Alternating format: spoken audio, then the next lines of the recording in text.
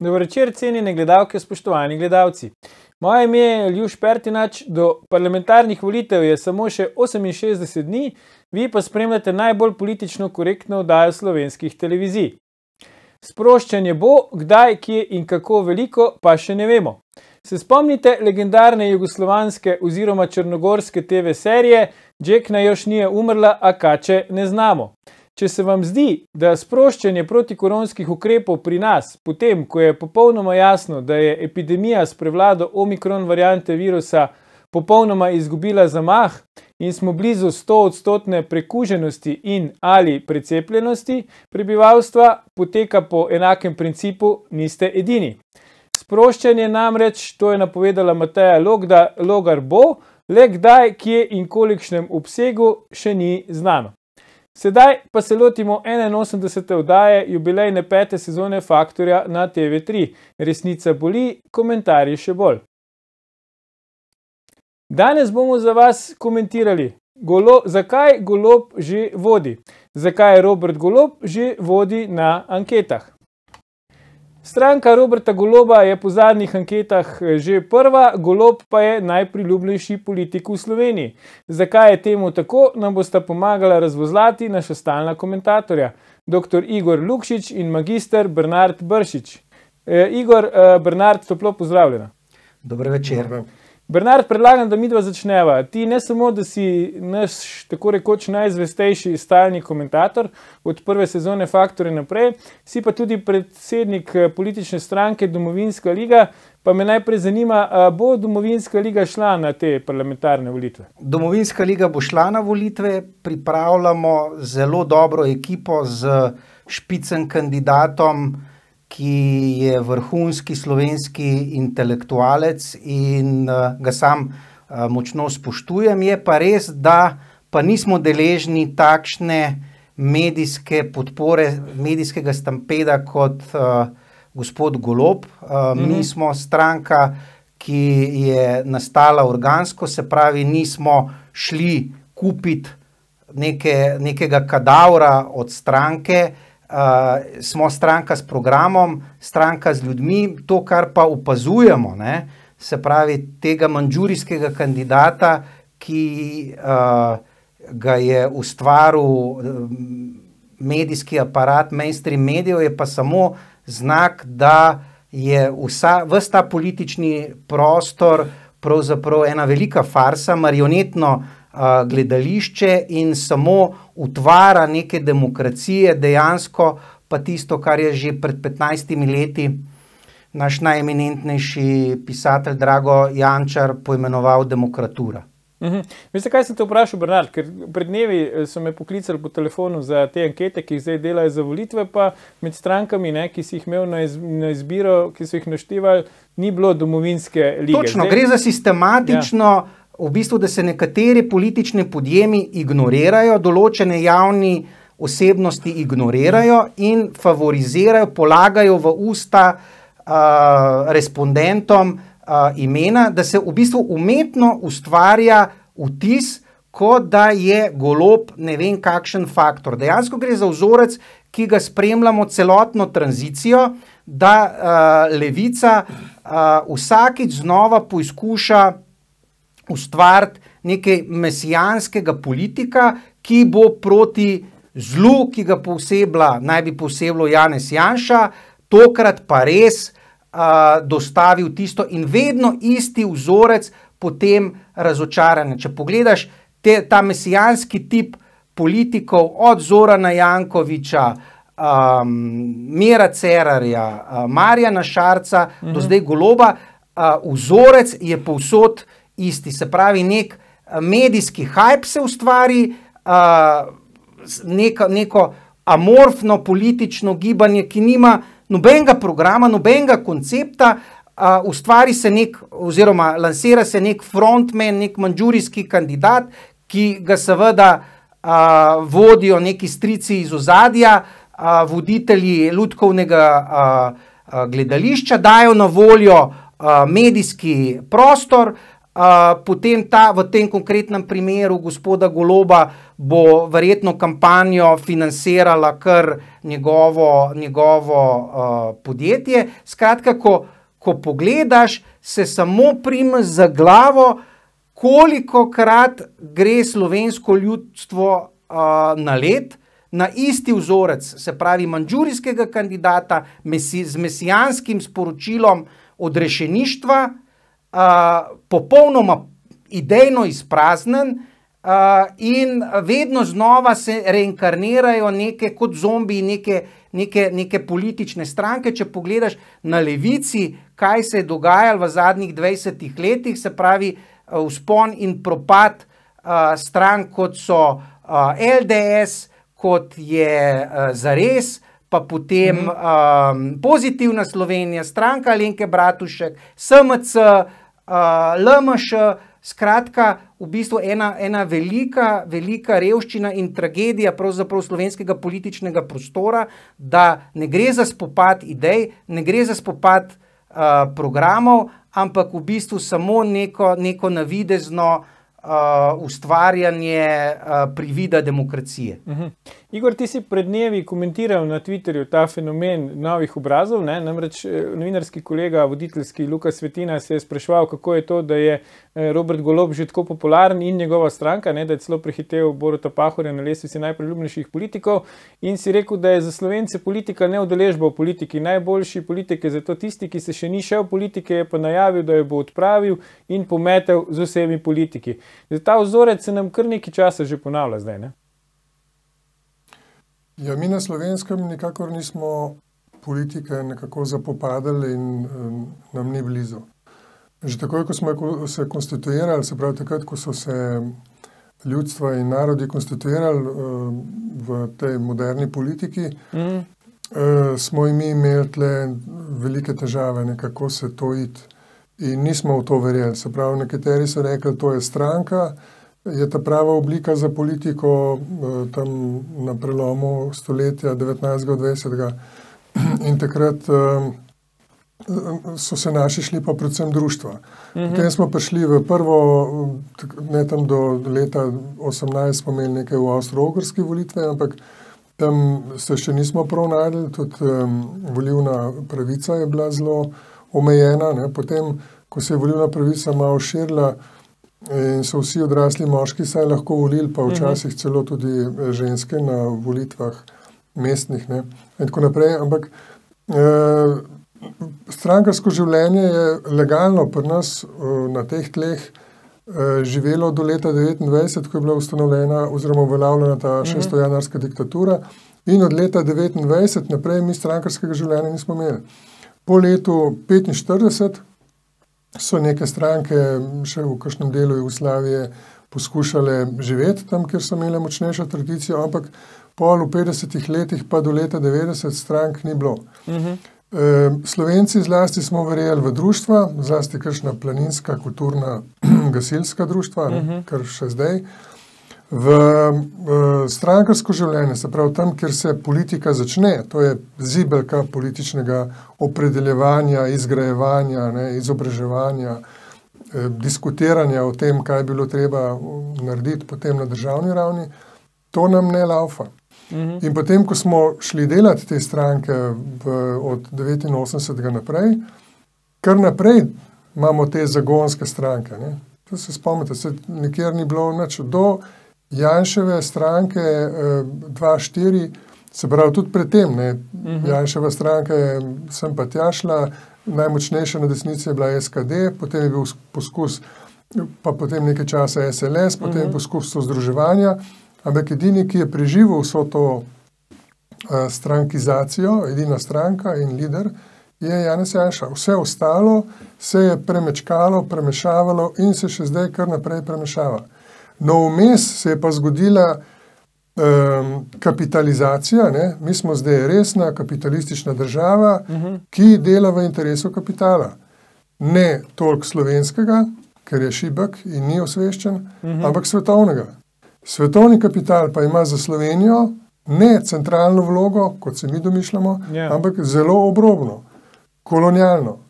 In zato svetovni kapital pomaga v navezavi z našim tem kolaborantskim, če, če hočete ta izraz, da eh, zmeraj pripeljamo ekipo, ki bo najbolj stregla temu.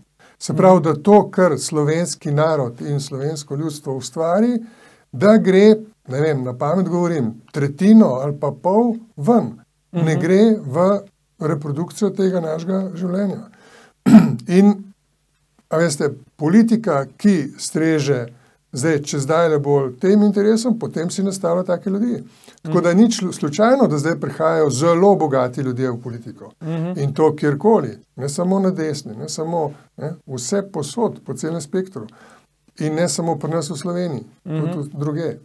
Tako da eh, demokracija v celem svetu, ne to, kar je Bernard pregovoril o demokraturi. Ne, vse Amerika ima podobne težave. Kaj pa je tam na izbiro? Če ti kot kandidat zdele ne, za senat nimaš zdele že 10 milijonov na računu, vse kar poslov. Se pravi, cela kampanja bo najmanj na 50 milijonov stara. Razumem. Bernard, ti si ustanovil stranko, ne takrat domovinsko ja. ligo za zadnje Lahko evropske povem, da je to volitve. zelo težek Ja. ja. podjem, uh, garanje.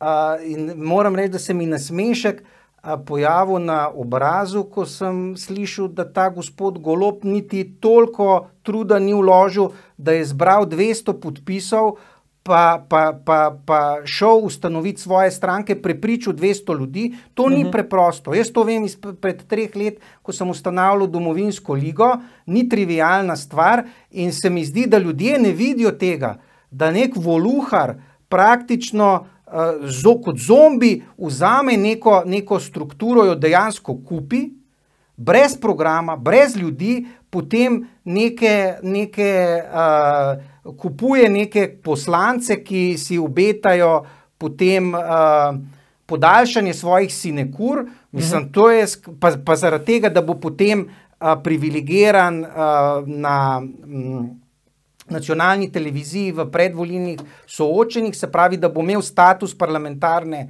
stranke, mm -hmm. vidiš, da je nekaj hudo, hudo narobe z, z našim političnim sistemom, in uh, tragično je, da uh, ljudje to nagrajujejo. Ne, Ja. Se pravi, ker uh, od nič postavljati neko politično strukturo, ti lahko iz lastnih izkušenj povem, da je uh, zelo težko delo. Je težko. In zakaj ljudje to nagrajujejo, pa se bomo pogovarjali po glasih, tako da ne namojiti, gledalke, gledalci, se vrnemo po krajšem premoru, ko nadaljujemo s komentiranjem, zakaj Robert Golob že vodi. Ostanite.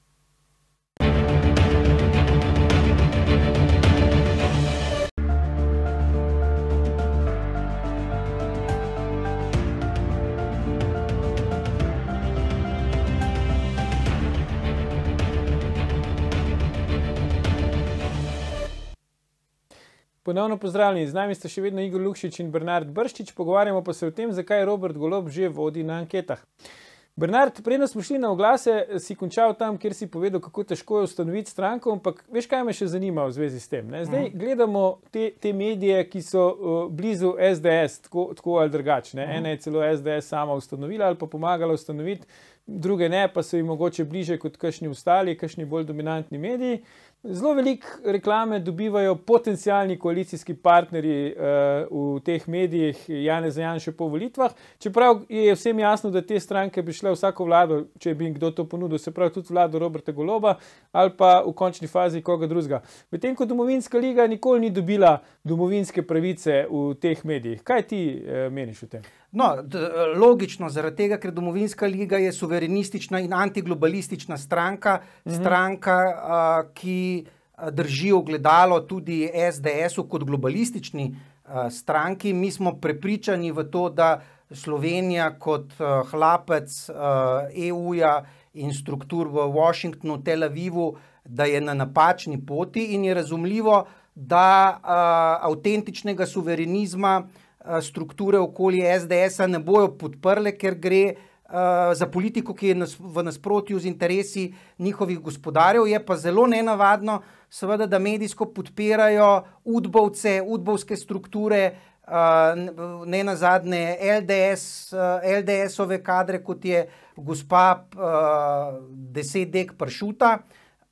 In me, me to pravzaprav ne čudi. Jaz sam nimam problemov, da od 5. aprila 2019 se nikoli nisem pojavil ne na novi, ne v, v demokraciji. Uh -huh. Oni so v narekovajih zasebni mediji, zakaj bi uh, delali promocijo neki konkurenčni, uh, suverenistični, antiglobalistični stranki, kot je, kot je Domovinska liga. Večji problem je seveda nacionalna televizija. Ne? Mhm. In če se vrnemo na goloba, a, kako a, mehanizem deluje, najprej se pojavi intervju s bivšim predsednikom države Milanom Kučanom, uh mhm. -huh. ki reče: Ja, novi mesija je Robert Golob. Potem se zgodi kaj? Kar naenkrat dostop tega gospoda, ki mu niso podaljšali mandata, nekega direktorja, energetskega uh, podjetja v večinski državni lasti, da dobi kar naenkrat v prime time na nacionalni televiziji, pop TV, se pravi vseh mainstream medijem prostor. Potem druga faza je, da se začne v kampanja medijskega ustvarjanja realnosti z anketami, ko ga še nikjer ni, ne stranke, ne programa, ne, ne ljudi, se začne ustvarjati v medijani, v Nina medijih, ki niso agencije za merjenje javnega mnenja, ampak mhm. za ustvarjanje javnega mnenja.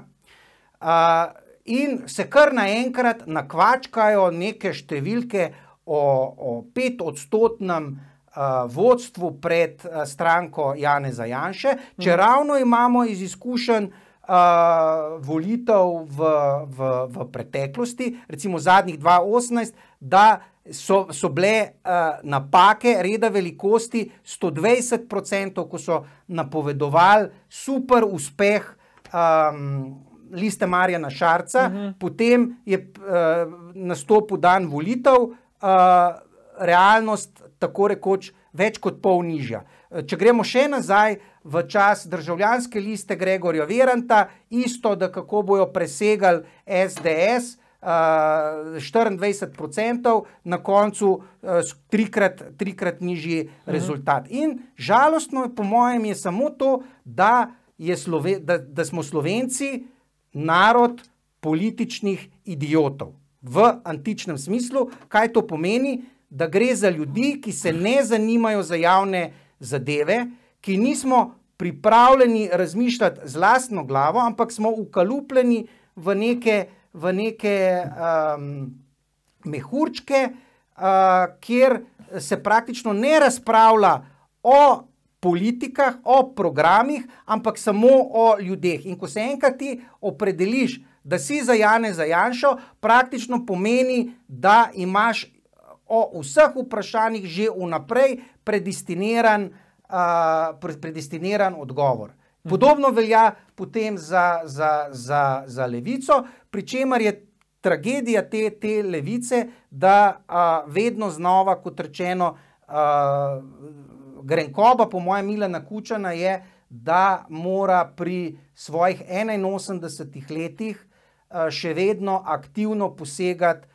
v medijski prostor in da je tisti, ki uh, ustreli štartno pištolo in reče: Tako, zdaj je uh, moj maziljenec uh, Robert Golop, in kako se zanimivo temu prilagodijo uh, mainstream mediji, pograbijo takoj. In, uh, zanimivo je bilo recimo na, na, na, na socialnih omrežjih odvajenih nekdanjih strankarskih tovarišev, uh, ki so se že, kot bi Srbi rekli, iztrčali in kritizirali goloba, jasno, kako bo levičar nekoga, ki v državnem podjetju pobaše 45 tisoč evrov uh, mesečno, ampak do česa je prišlo, do glajk šaltunge, takoj so dobili od vrha potem direktive, zbrisanje uh, objave in poenotenje na tega novega mesijo. Ja. Roberta Goloba, kot da ne bi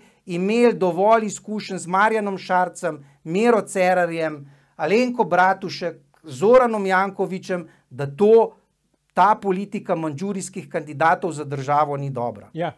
Zdaj, Igor, ti, ti si bil predsednik stranke socialnih demokratov, si tudi politolog, vrsto let si bil v teh najožjih strukturah prisoten stranke, si videl, kako ta proces odločanja teče.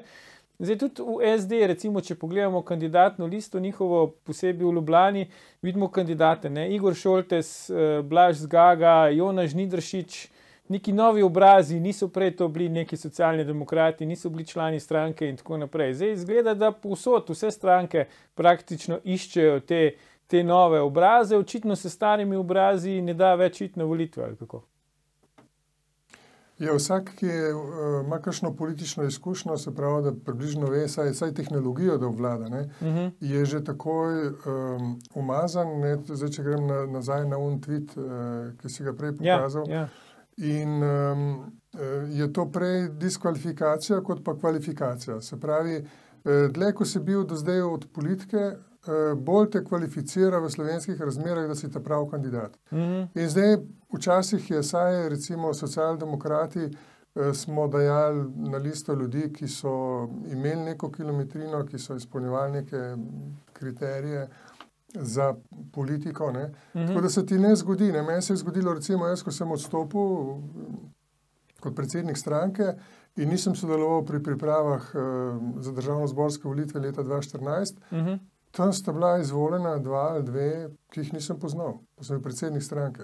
Mhm. Se pravi, ti pride v Se pravi, parlament. par pa mesecev šest- zatem, ko nisi bil več predsednik stranke, je stranka 6%. dobila dva poslanca, ki jih ti nisi prepoznal. Pa šest procentov smo dobili. Ne. Mhm.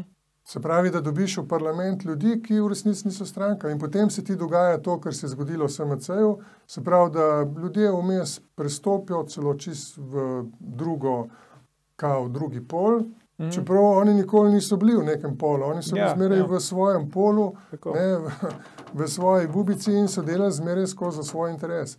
Se pravi, mi sploh nimamo tega političnega razreda, ki bi se reproduciral, mm -hmm. imamo na pol ne, nastajajoč kapitalski razred, ki, se, ki reproducira svojo mentaliteto, ki je absolutno anarhistična, ne, se pravi, zmeraj drugi. In tle je ena huda zgodba, ki jo imamo ki se reče instrumentalizem. Ne. Vsak malo močnejši kapitalistek bi rad spravil v parlament svoje ljudi, da jih bo Mhm. lahko manipuliral in nalagal, kaj naj glasujejo, in potem eh, seveda se, se nič ne zgodi.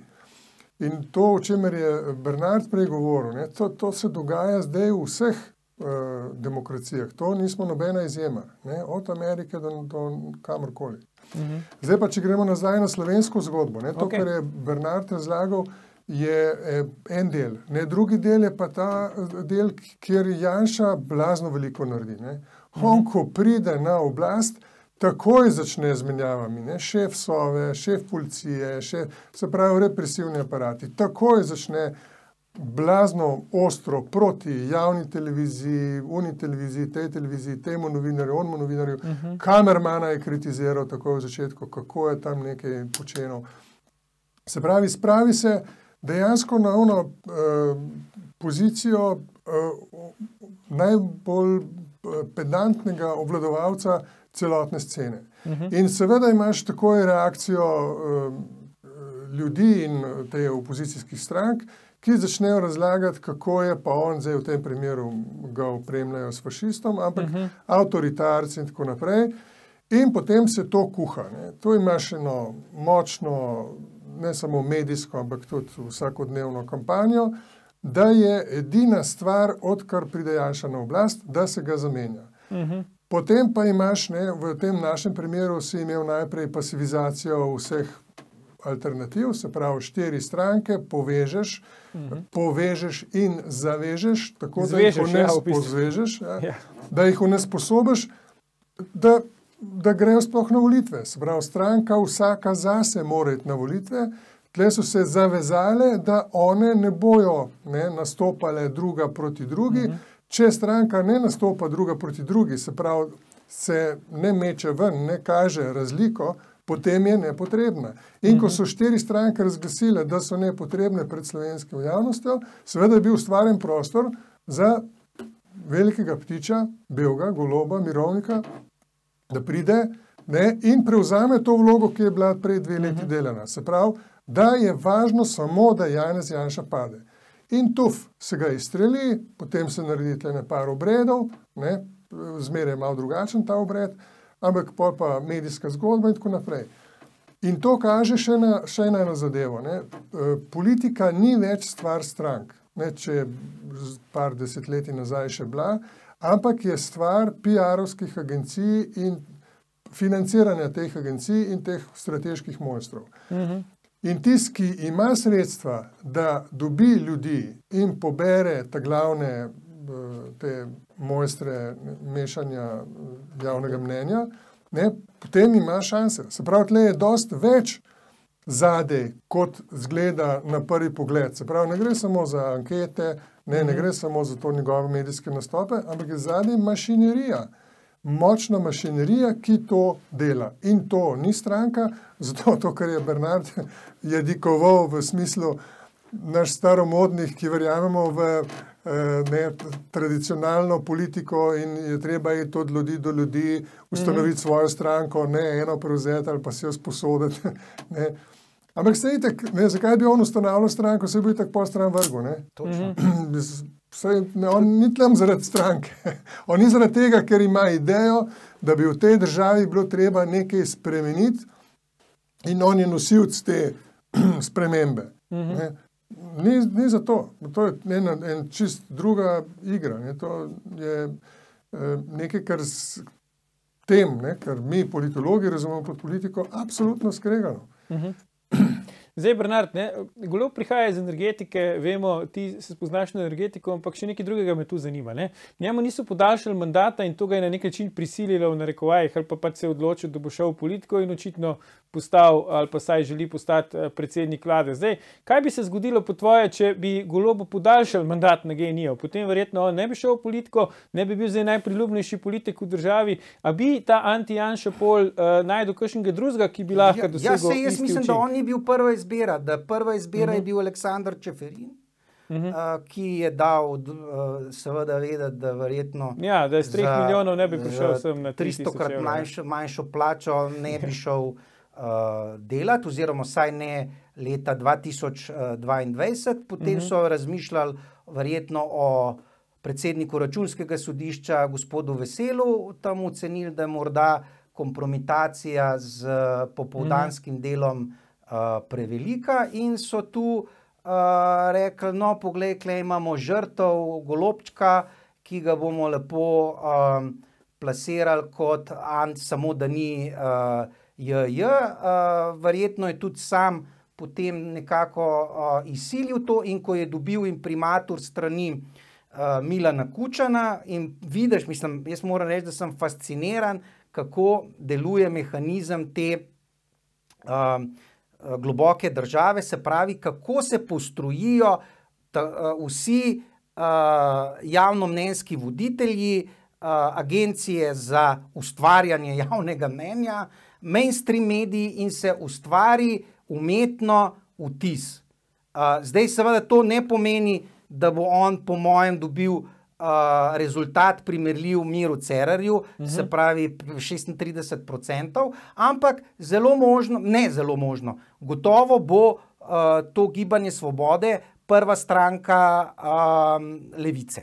Uh -huh. Absolutno. Uh, sam močno dvomim, da bo relativni zmagovalec volitev. Jaz sem prepričan, da bo relativni zmagovalec stranka Janeza uh, Janše, uh, da bo pa zelo premešal karte uh, na levici. Uh, mislim, da se zlasti uh, Alenka Bratušek in Marjan Šarec morata bat uh, v bistvu uh, vrtnarjenja v, njujem, v njunem vrtu, ker res ne vidim, kakšna potreba je za tri stranke, kot so amorfne, kot so Gibanje Svoboda, SAP, pa uh, lista, lista mhm. Marjana Šarca. Tako da um, temeljno vprašanje, koliko neopredeljenih voljivcev lahko uh, zajame, ker problem goloba je, da v tej koaliciji kul predstavlja kanibala, se pravi, da zažira verjetno v, v, v, v korpus treh strank.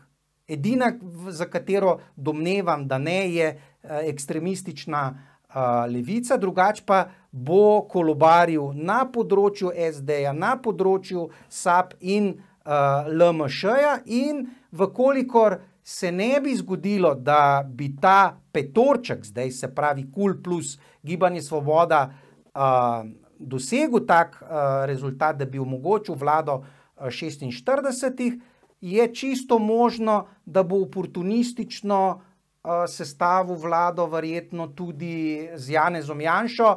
Uh, recimo vprašanje zaposlitve uh, tesnega sodelavca Janeza Janša, Antona Krkoviča, je mhm. povedno o tem, da verjetno mostovi med Golobom in um, Janezom Janšom niso, niso porušeni. Lahko interpretiraš to kot uh, uh, poizkus uh, sinekure Antona Krkoviča, lahko pa kot strateško potezo uh, vezista oziroma uh, obveščevalnega oficirja uh, SDS-a pri, pri uh, Golobu. Vse je možno. Zdaj, Igor, če pogledamo recimo uh, trenutne ankete, ne, kdo podpira vlado, kdo ne podpira vlado. Nekako logično je, da tisti, ki ne podpirajo vlado, to je potencijalni volilni bazen Roberta Goloba in opozicije. Ta je, ta je bistveno večji od tistega, v katerem lahko zajema SDS, pa zdajšnje koalicijske stranke. Po drugi strani, vemo, na zadnjih dveh predsedniških volitvah smo imeli v drugem krogu tako rekoč anti-janša predsedniška kandidata ali pa če hočeš levice. Zdaj, zakaj po vsem tem recimo še zmerom pravi Bernard, SDS bo relativni zmagovalec, volitve še niso odločene. Če tu vidimo, da kakšno je zdaj recimo razmerje med uh, volilnim telesom.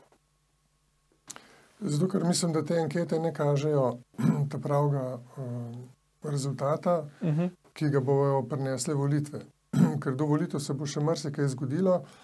Predvsem tako, kot ulečejo poteze na levi sredini, se lahko zgodi, da s promocijo goloba uh, ubijajo dve stranki in potem bo glasov v parlamentu. Kateri dve vprosti? To isti dve, kot je rekel Bernard, ja, misliš, ja. drugo? Ja, ja okay. ti dve lahko se zgodi, da celo kakšna druga. Levica v vsakem primeru bo preživela, ker dejansko eh, to dobiva. Ja, njihovi vljivci poseben... nimajo kam iti, razen da njih volijo. Ja, to nekaj, ne tiske. Uh, radikalen na jeziku, uh mhm. -huh. ne, težko najde koga drugega. In um, znotraj tega konteksta se lahko zgodi, da enostavno ne bo za dosti glasov. Še zlasti zato, ker se zdaj obnašajo s prenapihovanjem tem javnomnenjskih um, uh -huh. anket, ne, da so že zmagali najmanj 65%. To ni res, to se ne bo zgodilo. In uh, problem je, da se bo uspavalo te njihove voljivce ne, in bo potem dejansko relativni zmagovalec Janes Janša. Potem pa še kaj spet eh, pozabljajo, ne? da ljudje, ki bojo šli na listo od goloba in še mogoče teh drugih strank, uh mhm. -huh.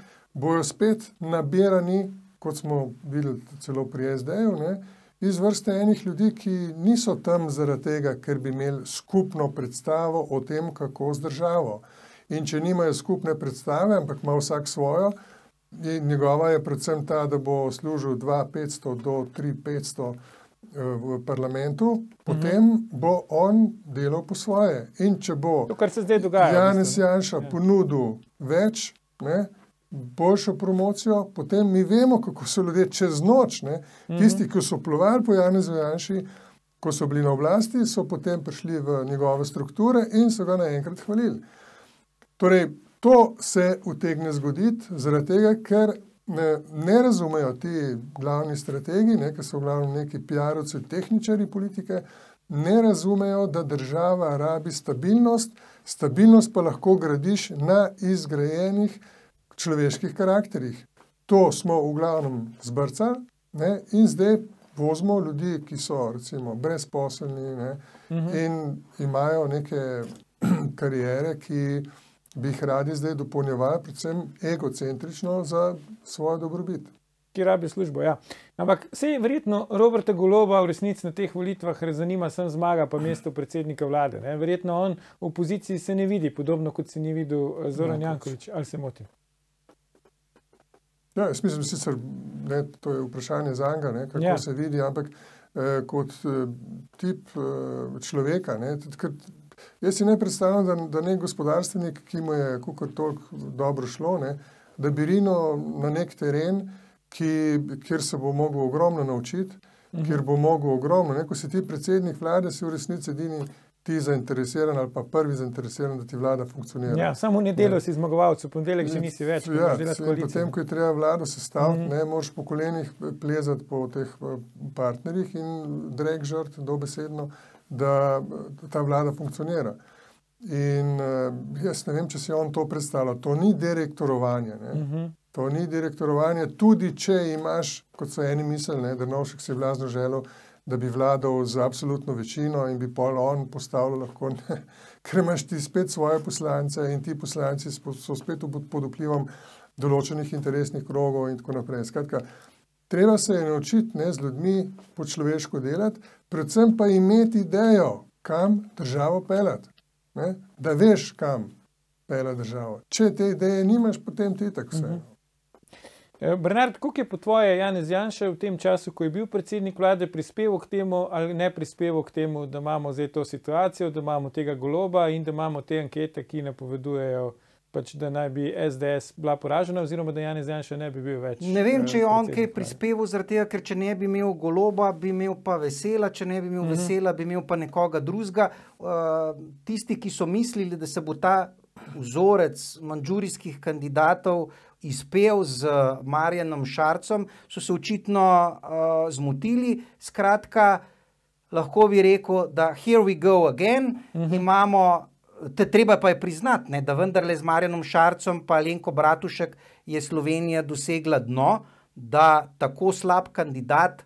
Kljub tej astronomski plači, Robert Golop ni, je doktor elektrotehnike, ni človek neke lesarske oziroma um, propadli diplomant AGRFT-ja s šestimi popravci na, na lesarski šoli.